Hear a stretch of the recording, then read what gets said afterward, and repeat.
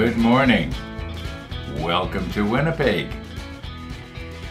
Okay, I've been at the model table for about an hour.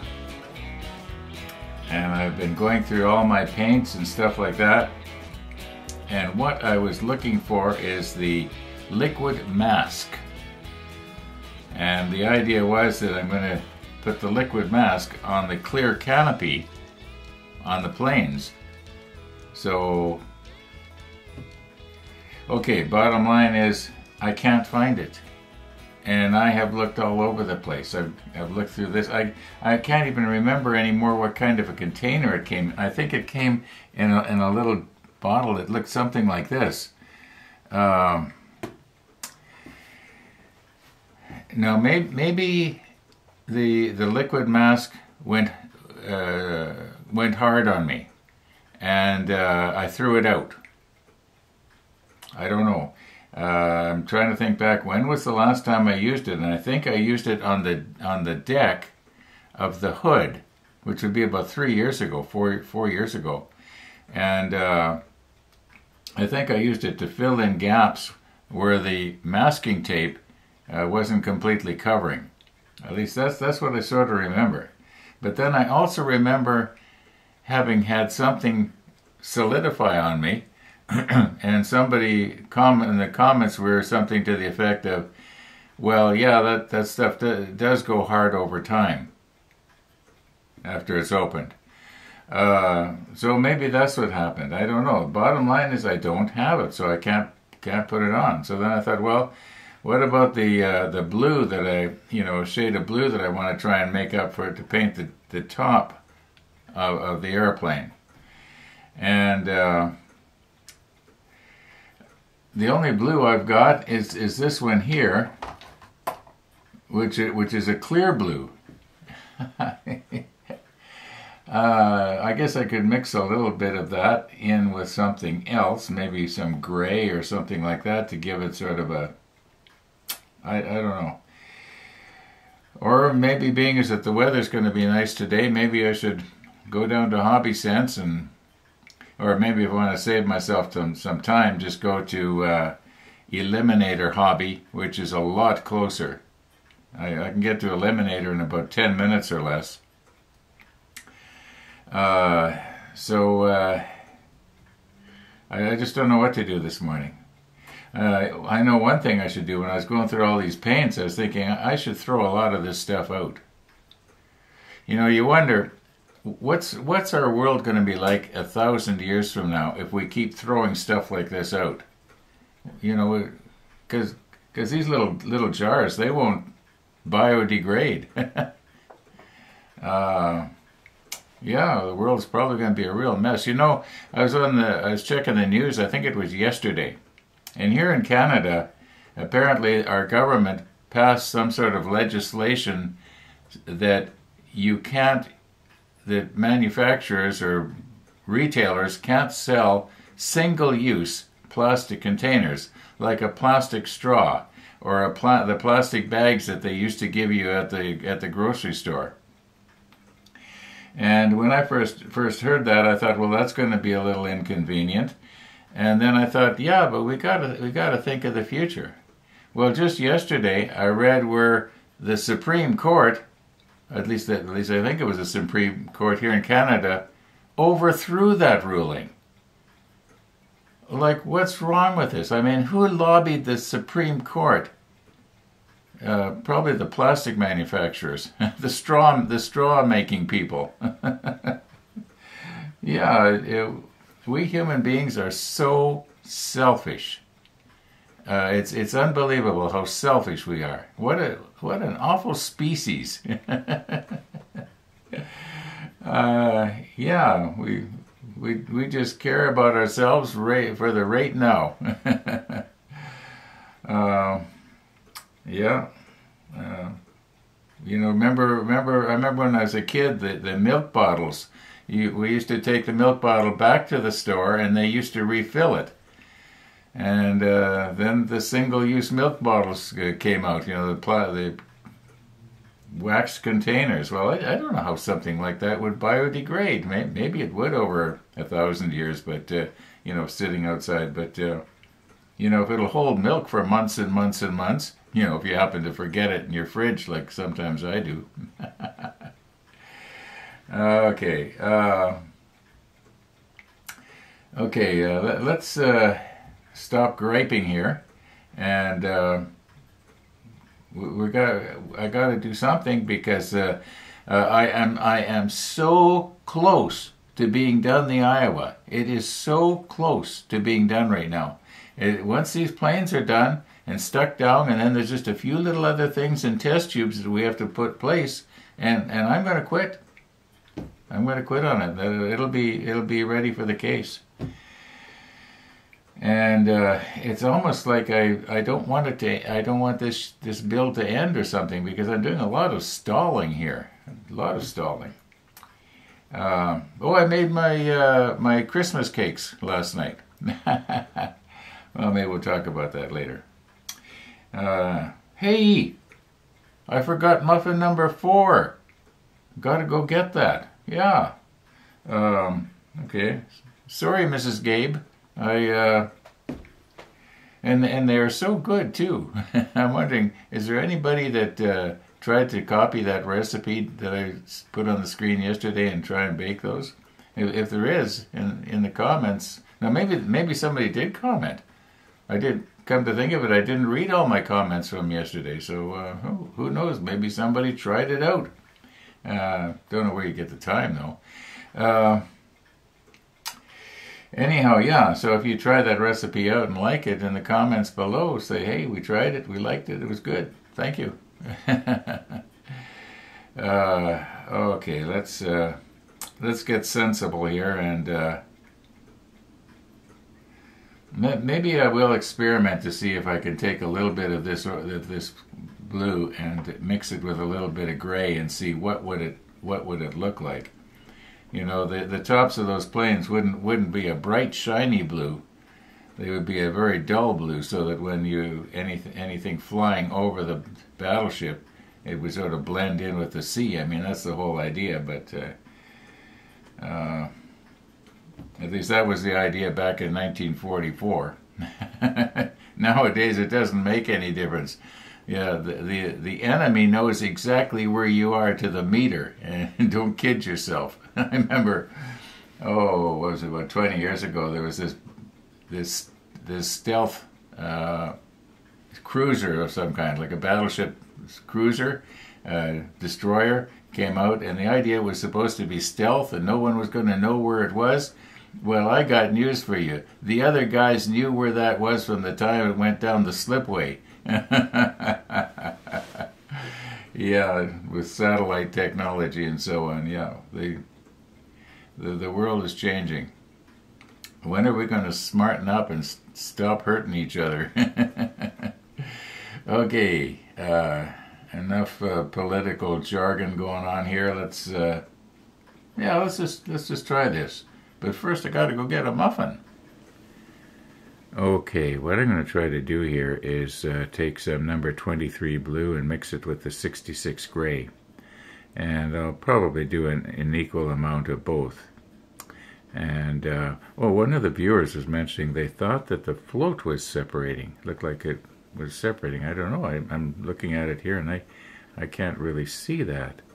Maybe if we slip the macro lens on, and take a real close look, we'll be able to see it because the macro lens can, you know, see it infinitely better than I can right now. Uh, I'm, I'm sort of seeing something, but uh, uh, yeah. Oh, by the way, 53 grams. So we're looking at about, uh, oh, 150 calories there, I guess, maybe. Mmm.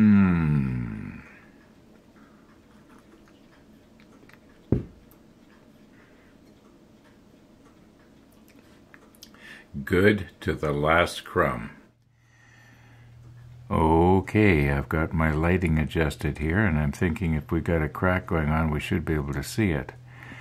And for you camera buffs, the reason that the green cloth underneath there is so dark is because I have my lighting, or my f-stop, one full stop underexposed. So it kind of darkens the plastic. Oh, uh, maybe I should be watching the monitor here.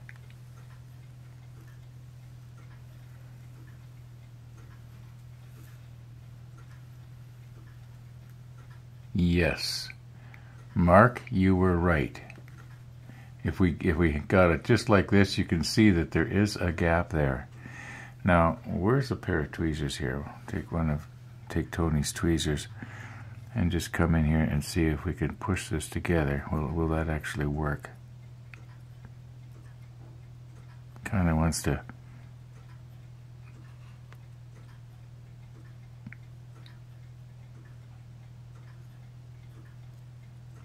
Okay, I think what we can do maybe is uh, take some extra thin quick setting and get it in that crack and somehow rig up a clamp on that.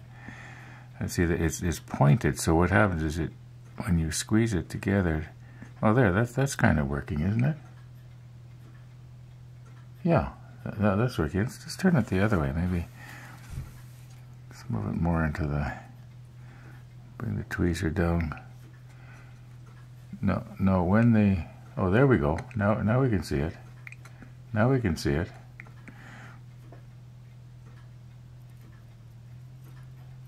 All right, let's uh, push stop here for a moment.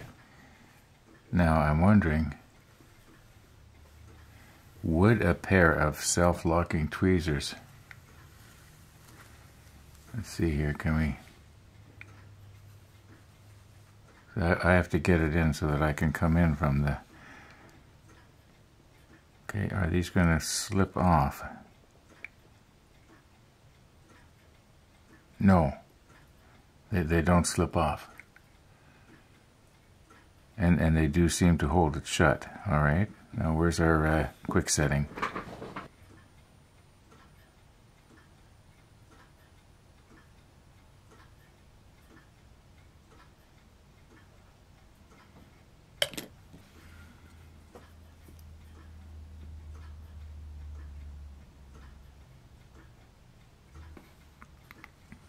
Whoops. That wasn't supposed to happen.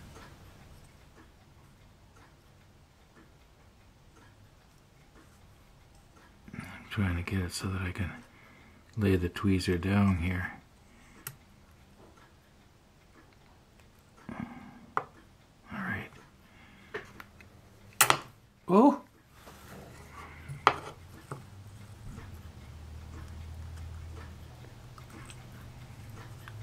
Maybe maybe I should bring it up like this. That that might be better. There we go, like that. I'll I'll recompose.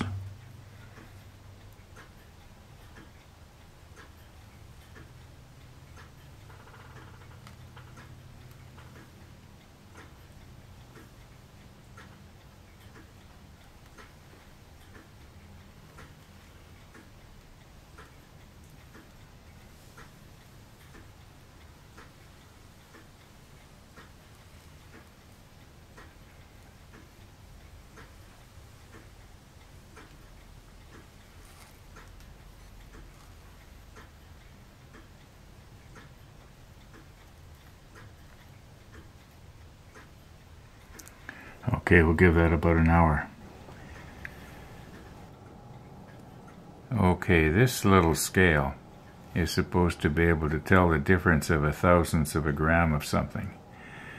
So uh, we're going to try and put equal amounts here. Now the idea of this plastic cover is so that if you can, you would try to have your whatever like that. And the idea is that just speaking on it, the, the, the puff of your breath will change it. Now, I don't think we need to worry about that kind of accuracy here. Um, I'm going to use uh, different pipettes. Now, speaking of pipettes, earlier in the episode we were talking about the impact on the environment that plastic straws have. I remember Nigel Frampton made a comment uh, or he replied to, I think it was one of my comments, something about pipettes and how he didn't like to use them because of the um, negative uh, effect on the environment. Okay, so let's let's get ourselves ready here, and we're going to try not to put the blue lid on the gray container and vice versa. I did shake these up in my paint shaker a little while ago. Okay, so we're going to, if we turn this on with the, that thing in there, it should, uh, come on, go to, there we go. It should go to zero. All right. Now let's, let's just test it here and make sure we're actually going to be able to, oh yeah, it's going to work. Okay. All right. Um, I don't think it matters uh, too much about how much we put in as long as it's going to be the, the equal amount in both in both of them. So we'll go like this. Okay. So that's almost half half a half a uh, milligram. Okay, so it, it's it's uh, maybe I better put a little more in so we can we can mix it. Otherwise, we're not going to be able to mix it up here I want it to go right across the entire bottom. Okay, now, so we've got, let's try and remember this now. We've got 1.066. Okay, now I'm gonna, I'm gonna zero it. Okay, so that's 1.066. Let's try and do the same in the blue. Okay, and we want 1.066.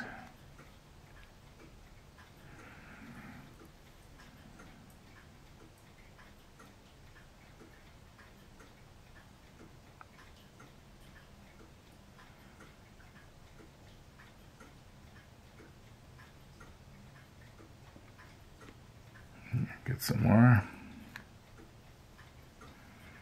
You know, there's a possibility that this is going to coagulate instead of a mix. Okay, we're getting close to one here. Eight, nine,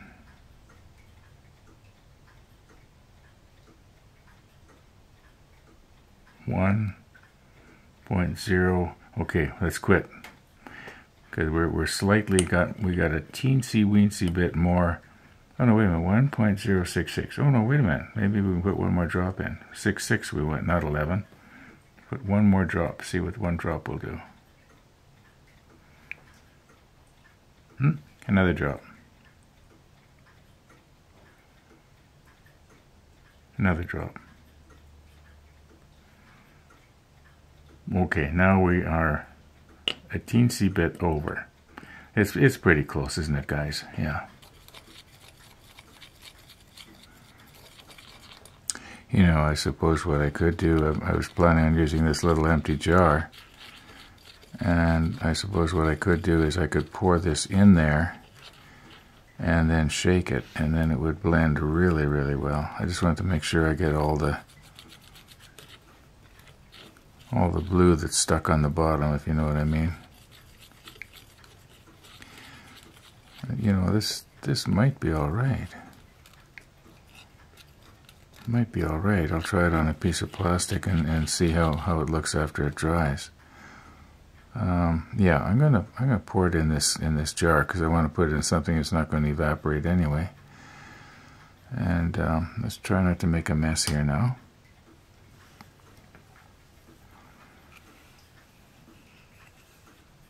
Oh, look, there's a lot of pigment still on the bottom there. Uh, maybe that swab was not the best thing to do. Maybe I should... Yeah, like I thought, the uh, the blue was sort of stuck on the bottom there.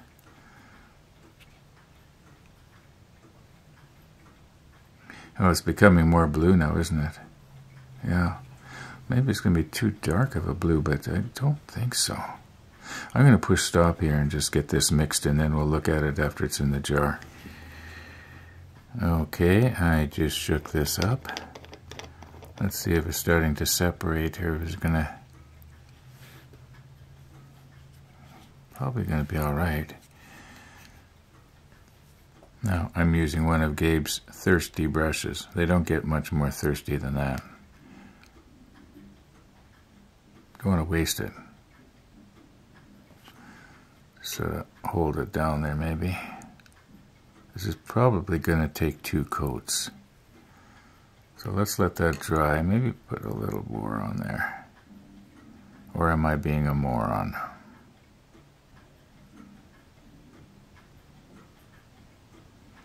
Okay, let's let that dry.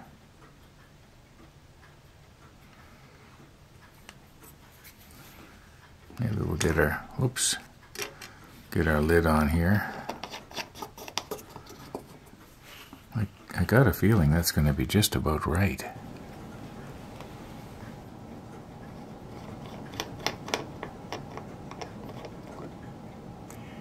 Okay, we are dry. Let's give it another coat here.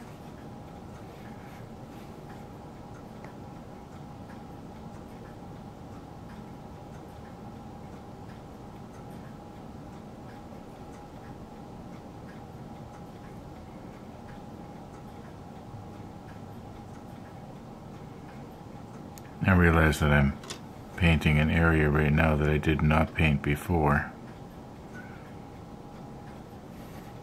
Okay, let's let that dry and see what it looks like later. We're going to kind of help it along here.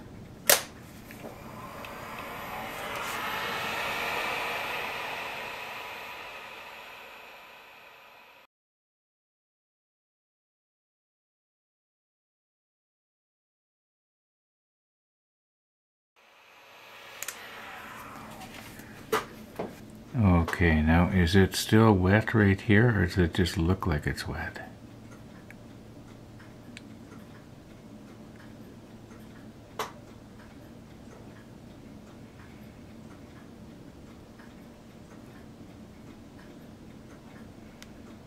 No, I, th I think what's happening is because the uh, the blue was sort of a gloss type paint, it was a clear. Yeah, we got a little bit of, it's not as flat. But you know, I think this is going to look all right. I really do.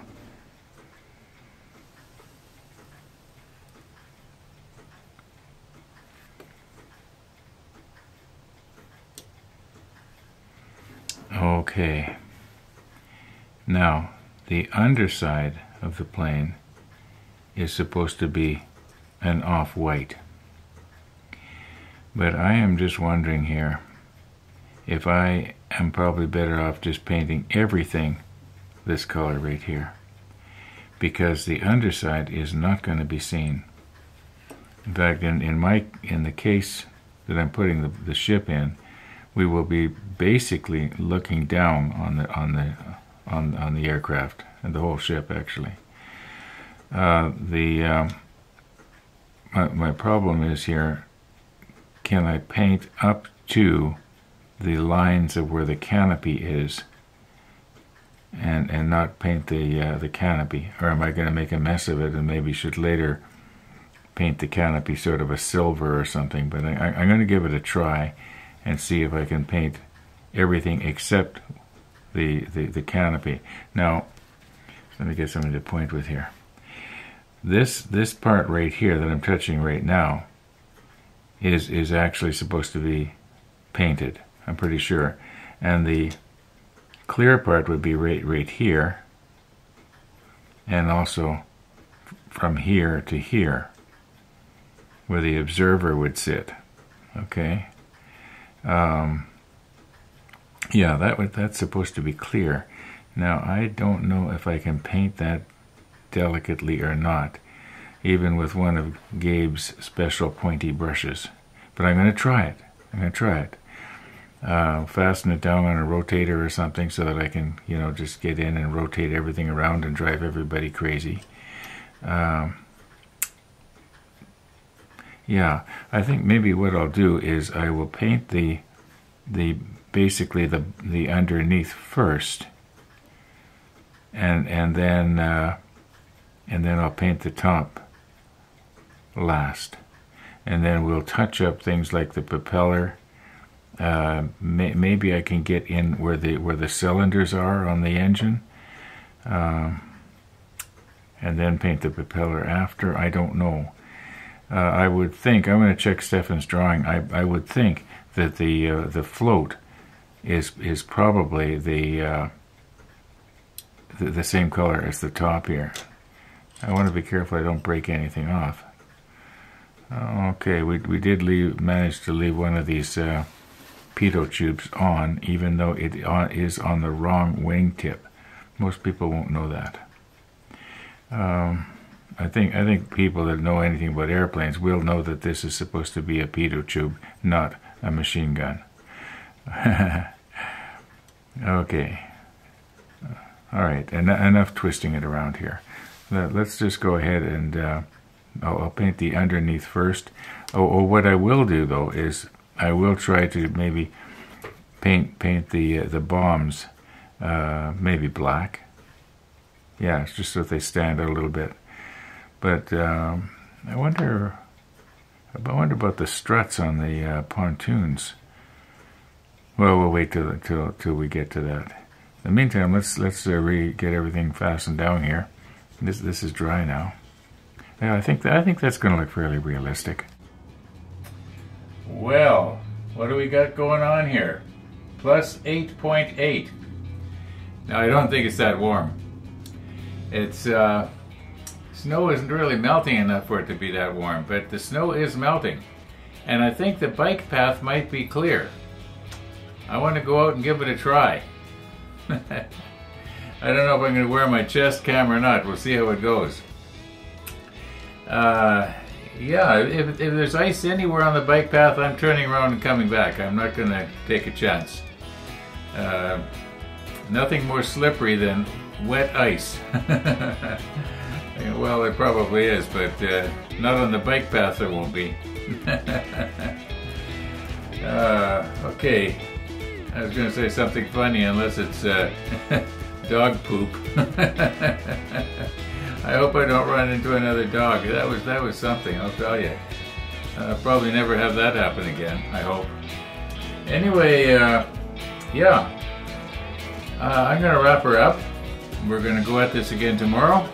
We're going to have to uh, take a look at the uh, uh, Christmas cake another time. We just don't have time. As the old saying goes, so much to do and so little time. okay, thanks for watching everybody. All being well, we're going to see you tomorrow.